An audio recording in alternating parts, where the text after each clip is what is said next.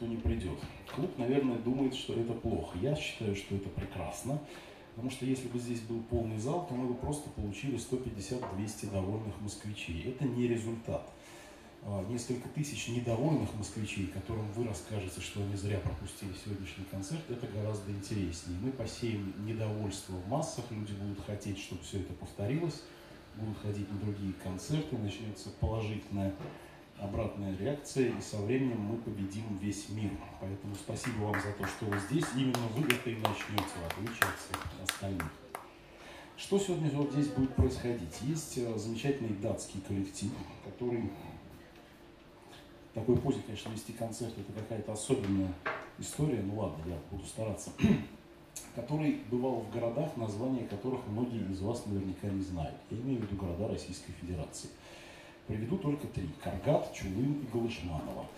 Если в зале есть человек, который слышал все три, я прошу поднять руку, но я думаю, что таковых нет. А они там играли. Они там были, они выходили на сцену местных ДК и доносили до российской аудитории свое непростое искусства. Это прекрасно. Это означает, что э, существуют еще, слава тебе Господи, такие джазовые музыканты, которым важнее аудитория, а не формальные сопровождающие ее признаки, как это столичность, как это статусность и так далее. Им просто очень интересно играть в России для нас с вами, и они это делают уже во второй раз. 30 концертов они отыграли в 2015 году, сегодня играют третий. Впереди у них еще почти две недели от Калининграда до Екатеринбурга. А, по музыке вы все поймете и без меня, слава богу, наконец-то в таком месте, где не надо объяснять людям, что вот это вот контрабас, а не большая скрипка, вот это вот фортепиано и так далее. А бывали в нашей практике такие места. Я могу только сказать, что э, вчера случился все-таки в их жизни некоторый рекорд, который мы, конечно, сегодня здесь не побьем. Вчера они выступали в селе Речицы Жельского сельского поселения Раменского района Московской области. И на концерт пришло 9 студенток из Сальвадора. То есть, казалось бы, где еще датскому музыканту впервые в жизни выступить перед студентками из Сальвадора, кроме как в Гжельском сельском поселении Раменского района. Наша страна не перестает удивлять мировой джаз, мировой джаз не перестает удивлять нашу страну. Бангин Боус, Nice Jazz Quartet.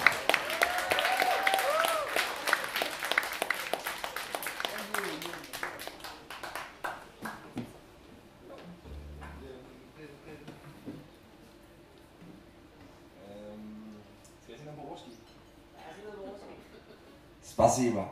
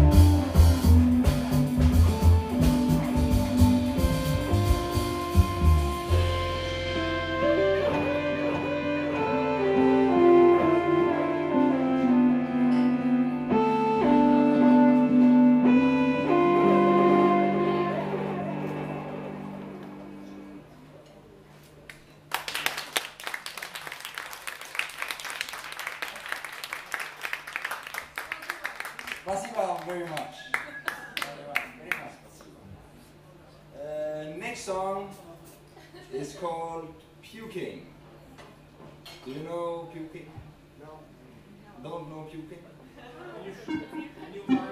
What? Can you explain us?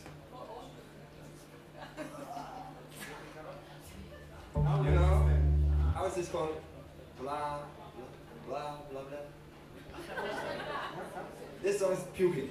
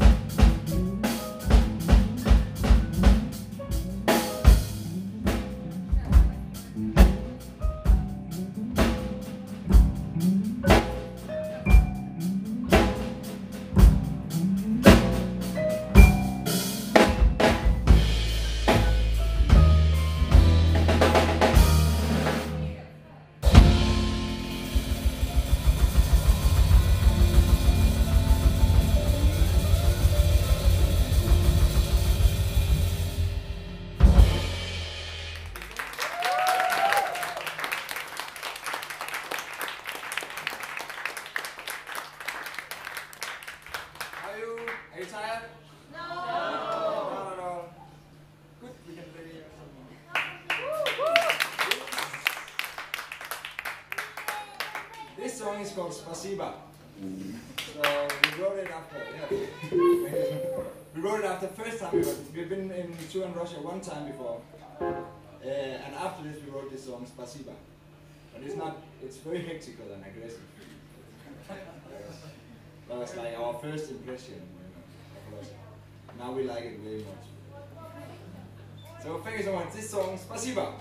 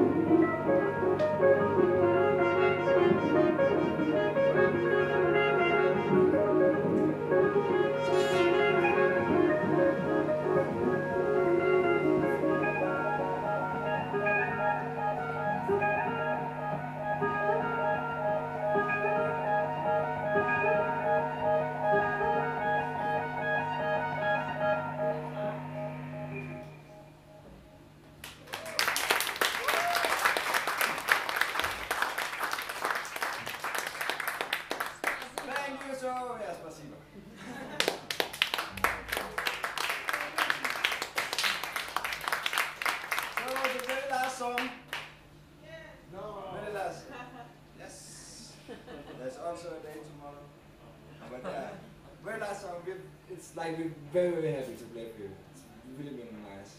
Very nice song. Thank you so much.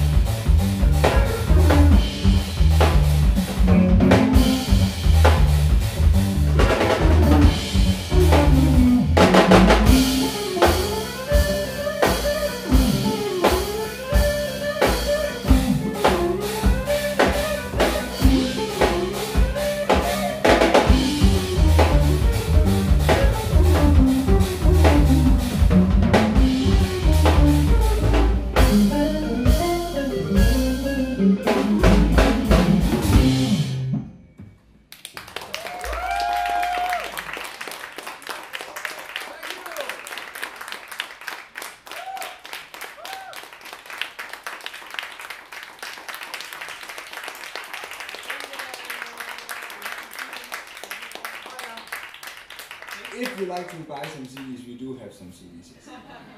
But thank you so much again. It's really, really, really.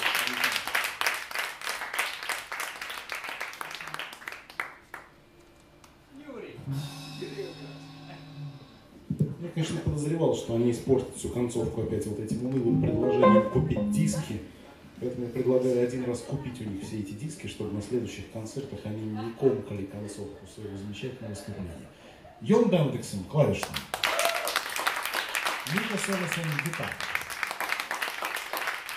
Контрабас, Иван Кристенсен, где-то. Пуль. Да.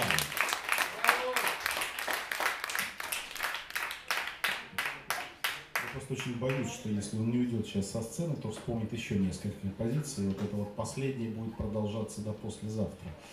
Спасибо вам, что вы пришли. Э, Я не приглашаю вас завтра в Самару, послезавтра в Уфу и через два дня в Екатеринбург, потому что, наверное, на сегодня и на завтра, и на послезавтра вам все-таки хватит.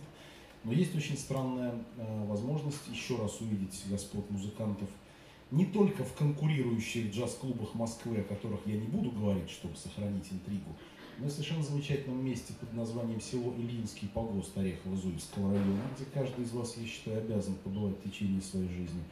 Произойдет это в воскресенье 1 октября в Международный день музыки, поэтому нет повода не выпить. И называться это будет программа «Культурная интервенция». Мы базируемся в тамошней арт-резиденции, которая существует вопреки всему в старой ткацкой фабрике, и позволяем нашим иностранным гостям расползаться по окрестностям в свободные от больших городов дни. Собственно, отсюда и берется в графике Гжель, Дрезна, Егорьевск и другие замечательные места. А, Там будут не только датчане, там будут и россияне, и сибирско-питерский авангард, и какие-то бессмысленные разговоры о джазовом образовании, мастер-классы, и даже накормят борщом и попоят чаем. Если вам это интересно, это можно посмотреть у нас на сайте. Сайт у нас называется очень просто отдел культуры.рф. мы ничего не боимся вслед за ними, мы теперь вот такой отдел культуры. Еще раз спасибо вам пришли, спасибо всем, кто это поддерживает. Это посольство Дании в России, это Датская джазовая федерация Джаз Данмарк. Я надеюсь, что к следующему разу они все-таки поймут, что называть э, замечательные композиции нецензурными именами, это значит закрывать себе путь на большие сцены, и мы их увидим где-нибудь уже в Государственном Кремлевском дворце, где, естественно, такой музыки и место. А здесь будет выступать всяческая попса, и вот это, наконец-то, станет итогом нашей жизни. Спасибо.